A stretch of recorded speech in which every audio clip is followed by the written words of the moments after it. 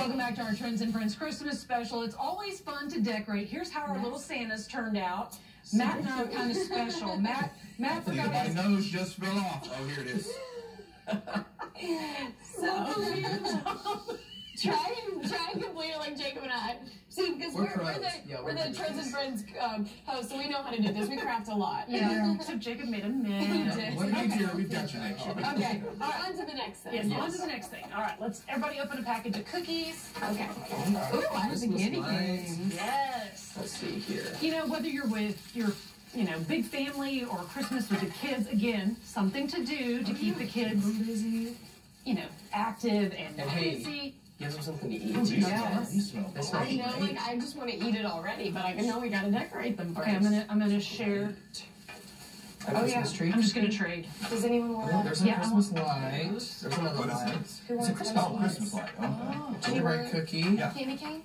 Very nice. I'll So we got a good Nice. selection. There Yes. we go. Okay, so Olivia, tell us where these are from. So these are from the cakery, and the nice thing is that they are going to be um, doing these and selling packages of these that you can decorate all the way through, um, I guess today through the 23rd. That's right. So you guys are able to So you go got get them. So go get them. You know, 20 minutes to Exactly. get those. to You go know, and get them. Oh, yeah. And Those also they are located, you can see right there where they are located, and you can give them a call if you are wanting them. So might as well kind of go ahead, get these for your kids. It's giving them an activity to do, which is very nice.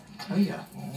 We're It gonna go is. ahead and So decorate while we're doing this too, So this comes- comes with cookies and decorations. And the Yes, decorating cookies and the icing. So a good package deal here. And while we're decorating too, we're, we're gonna kind of talk about some of like the traditional foods that we kind of had for our Christmases. Now, Matt, I know you said your family kind of likes to do something a little different every Yes, year. yes, yes, indeed. We kind of like to mix it up every year. Um, of course, you know there are some years where we'll do your traditional ham, and there are some years, and I guess recently my family we've done barbecue. I think that's on the menu this year. Oh, we've nice. done Mexican, we've done Fantastic. fajitas. One year we probably will do Italian. One year, so Oh, we just like to mix it up, and um, that's Sounds our like tradition right there. It's always a really good Christmas in the Stell household. Yeah, I have to say, when you said Italian, every Christmas Eve we do we make homemade meatballs. So that is our Nice. go-to every year. That's fantastic. Nice. Our, we make a whole day affair out of Christmas with my family. So what we typically do, just have finger foods sticking around that we can snack on throughout the entirety of the day, and it's a lot of fun and just gives us more time to spend with one another too.